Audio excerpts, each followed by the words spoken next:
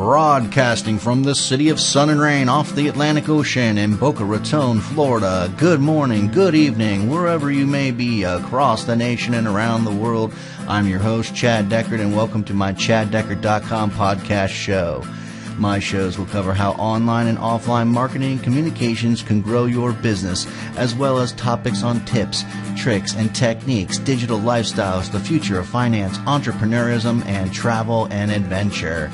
Thank you for tuning into my show as we begin this adventure together exploring many great things to come.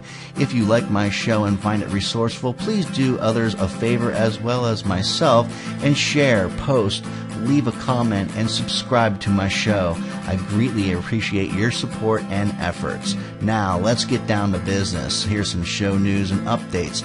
I really appreciate all the feedback that I've been getting uh, lately on various sources of where I syndicate my show across the web.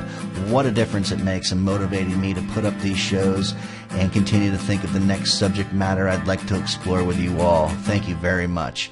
I invite you all to continue to post and send your comments in regards to this podcast show. So I decided to set up another really cool way to actually verbally leave a comment on my show when you give feedback. So to give your feedback verbally on this show, uh, for any of my past episodes, please go to C Deckard, that is spelled C D E C K A R D dot com, and look for a tab on the homepage that says Leave a Voicemail Message at the upper right hand side of the screen. Click it and proceed to leave your audio comments, and I will transfer them to the recordings of this show if they see permit. And you may also use this to ask questions that I will attempt to answer for you as well. I've had a couple people ask me about different uh, income opportunity uh, marketing programs out there, and uh, I don't really participate in uh, any of those. Uh, however, I do have some friends that sell some that are very successful out there, but I'm not going to give any names to those programs at this time but uh, I would be weary on some of those because a lot of them, when they show you the commissions, uh, usually the commissions of you know fifty or a hundred or three hundred thousand dollars a month is really predominantly selling their own product over and over again. So you're buying a product to just sell the product to someone else and continue the process over and over again, which basically is like you're basically creating your own competition. And when it comes down to it, it's who's got a better skill set of figuring out the program of how to buy media and turn things over and create more velocity than the rest of your competition.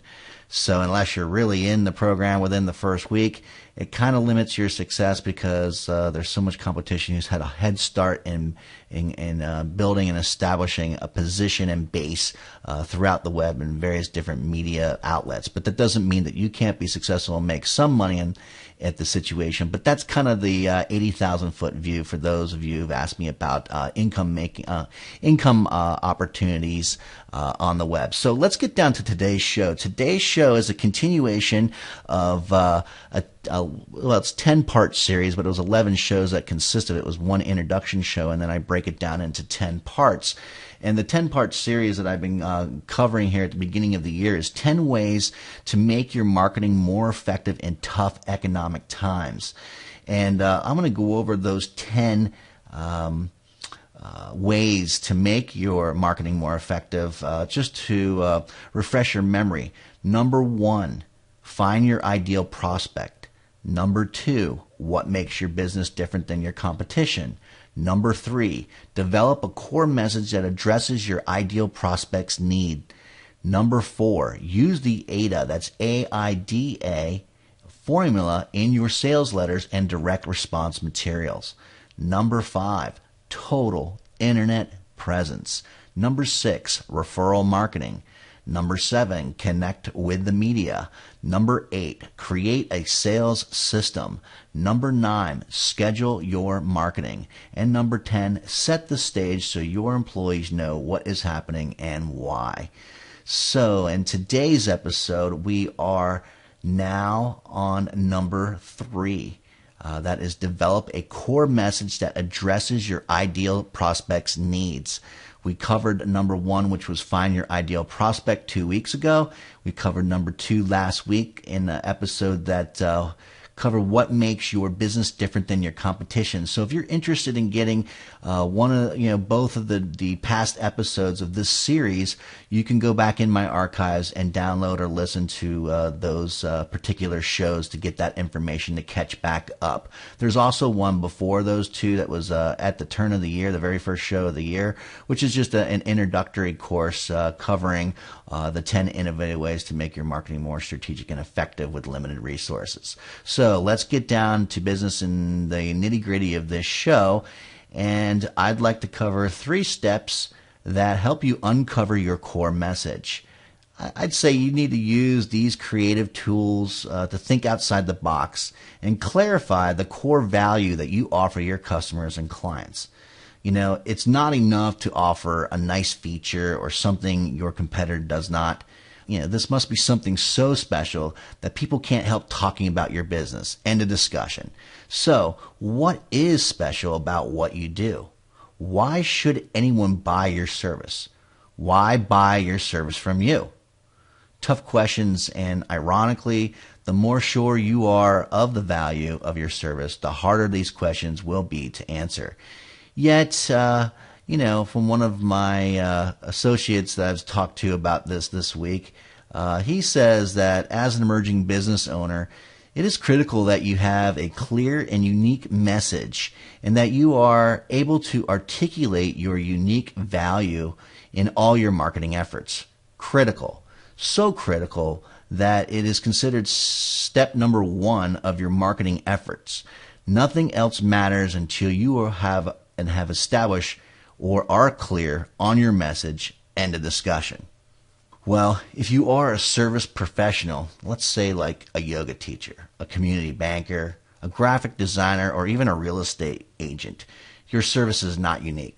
So, how do you create a message so special, so unique, that people will talk about your business in a way that sets you apart from the competition?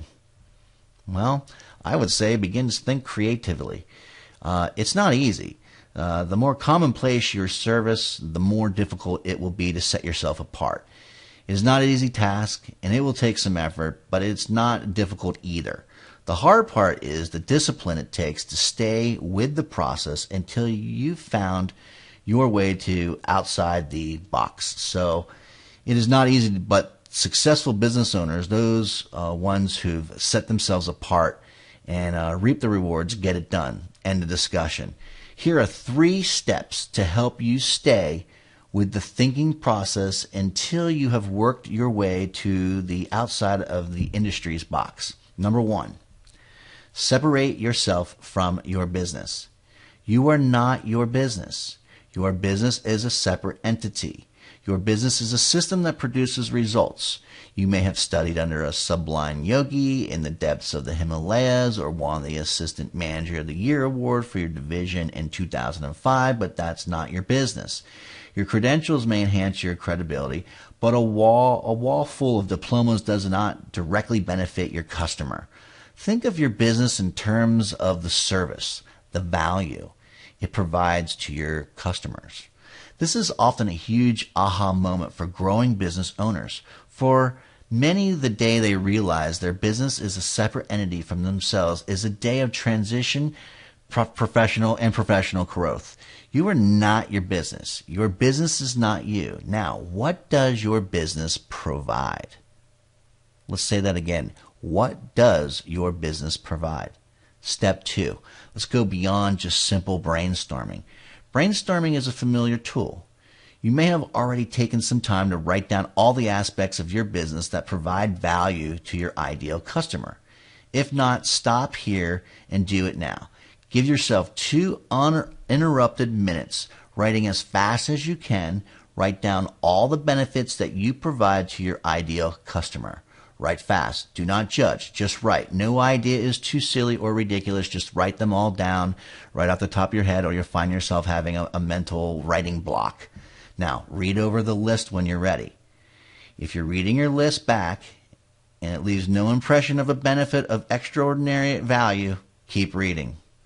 The main purpose of thinking is to abolish thinking. so that's I didn't make that up. I just got that quote from uh, Edward de Bono, who is a teacher of thinking. His tools and processes for enhancing creative thinking are known in the business world as six thinking hats. According to De Bono, the mind works to recognize familiar patterns in the outside world. Example, like a yoga teacher, a community banker, a real estate agent. As soon as such a pattern is recognized, the mind, like water flowing along the path of least resistance, switches into that pattern and further thinking becomes unnecessary. This is why first impressions are lasting.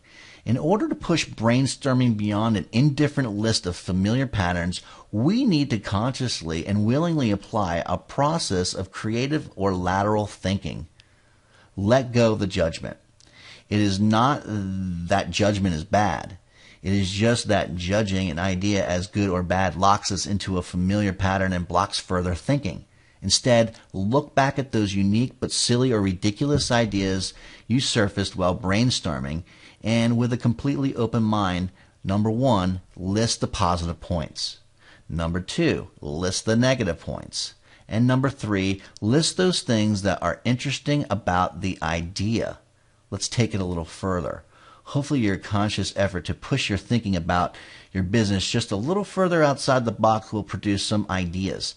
But don't stop thinking just yet. Try this random word exercise. Remember, your goal is to force your mind out of this pattern or these patterns. Be bold, be creative. Choose a random word. It must be random.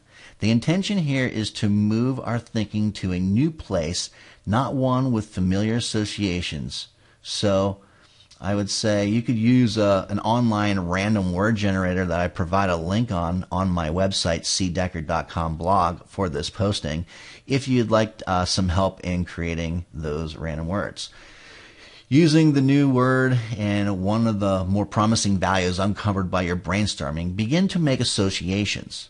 To use an analogy from De Bono, it is as if you've been dropped on in an area of your town where you're not familiar with. You will eventually find your way home, but you will see your neighborhood from a different direction and from a different point of view than when you finally arrive. Allow your mind to make connections. Allow time for this, at least five minutes. Okay, step number three harvest your ideas. Now, gather your ideas. What do you have? See any possibilities? Have your thinking patterns changed? Answer these questions. Number one, what is unique about the service you provide? Number two, what is specifically that you provide to customers? Number three, what are the top three strengths of your business? Number four, what future plans do you have for your business? And number five, what is an aspect of your business that your customers cannot do without? All right, well, hopefully you found something to set your business apart from the crowd. Look for even just a glimmer of an idea, an idea you can allow to take root in your unconscious mind while you go about your day uh, and through your day's activities. Return to this exercise or program and try again in a day or two. Keep thinking. Go deeper and deeper until you've uncovered the thing that will make your customer choose your business over all the others available to them. The thing that will compel them to willingly tell their friends about you and what you do. This is the one thing that is your marketing message that you need to hold on to. You need to return to it and you need to make it your core message. It is the first and most important step in your marketing campaign. End of discussion. Okay, so let's re- let's go over this one last time in a summary here. When it comes to communicating to consumers, your core message is the one thing that has the ability to set you apart from your competitors. On a business landscape that is filled with businesses whose products and services are similar, the business that is best able to communicate how it is different from the other players in the marketplace will position itself for continued growth in a sector where every business is not able to succeed. The method through which a business communicates is different is through its core message. A business's core message allows it to quickly communicate what separates it from the peers and competitors. The process for developing a core message begins with the belief that the market values the difference. If the market does not value the difference, the marketing campaign and core message will fall upon deaf ears. There are three aspects from which a business can separate itself product, service, and market niche. When it comes to core message, a business must remember that its customers always know best. Gathering information from them will help you uncover what it is about your business, industry, and competition from the people you value most. Finding out why they hired you and what separated you from your competition is good information to know. You should also find out some uh, perceptions that they have of your industry and ways that you can bring value to them. It should be noted that your competition can also clue you in on some very valuable information. What are they offering that you have ignored? Are there some obvious differences between you and them? Is your competitors you, you will be able to see them buy in different buying patterns that may be different from yours. Uh, their client base it may be more mature than yours and therefore more consistent. They may have departed from their focus on one thing in order to fully invest themselves in something else. All that information is value for you in crafting your message to consumers. When you begin to craft your core message, take the time to discover what you're really selling. There is a perception in the minds of the consumer of what they expect to get in their purchases. The perception has value. The core message is not for your clients. The message is based on information that is valuable to you. It is the basis for all your marketing and consumer service activity. It will also help you filter every marketing decision that you make. The primary motivating factor for some businesses is competition or beating an enemy. A great way to press the envelope is to identify and focus on beating something or someone or creating and communicating a reason for being that trumps competition. When it comes to your message, the one sentence that conveys so much to potential customers, a variant of the talking logo could be employed. The talking logo is a communications technique used to market a very specific point to consumers. Imagine someone asking you what you did for a living, which most of us get a lot. Most of us would answer that question based on a title or a short job description. When it comes to your customers, that information is useless. What they want to know is what do you bring value to someone else? What is your core message and what should you communicate that latter than not former? A, a core message can be broken down into two parts or steps. The first step is the message itself. It is typically one sentence long, no more than 10 words or so. It is a quick and to the point, and at the same time, its power is evident and it grabs the attention of whoever hears it. A core message could be something as simple as I equip men and women to live life to the fullest. The core message has three sections to it. They are the action verb, which stages the message, the target market, and then the how to at the end. Take a look at this core message or listen to what I'm saying. I teach entrepreneurs to manage their business for better. For companies, their core message could be We partner with small businesses to make their businesses grow. Now, upon hearing any of those core messages, the potential customer is going to be unable to simply just walk away.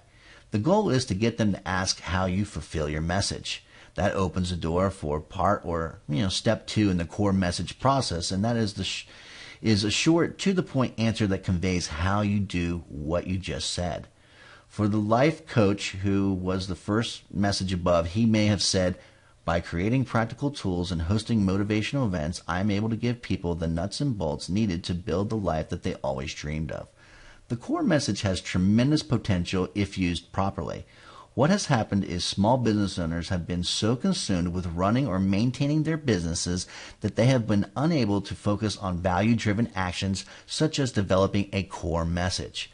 By taking the time and putting the work into the craft of a core message that hits home to your consumers, you will have an easier time converting them because they will buy in based on your core message alone. Your strategy for growing your, growing your business will be based largely on your ability to communicate what you do that separates you from every Dick, Tom, and Harry business operating today. Your core message is a quick, simple way of telling consumers not only are you different, but that you do business with their success in mind, and that message will always be heard.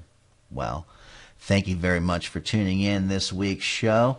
If you like my show, please consider subscribing to it, which you can do by visiting my website, chaddeckard.com. If you are an iTunes or Stitcher listener, take it with you wherever you go on your mobile device. I invite you to give the rest of the listeners and myself all the feedback that you can contribute or support because you are part of what makes this show a success.